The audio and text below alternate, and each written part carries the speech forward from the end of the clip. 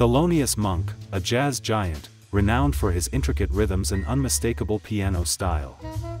But have you ever wondered what went on in Monk's mind after he played? He likely experienced what many term the jazz ear syndrome. This syndrome refers to when musicians, after long sessions, continue feeling the rhythms and melodies in their head, even in complete silence. A kind of musical echo that lingers on. Is this a gift or a curse? For some, it's a testament to the deep connection between jazz and the mind.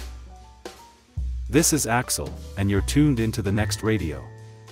If this journey into the world of jazz intrigued you, hit like, drop a comment, and don't forget to follow us with the hashtag hashtag hear different.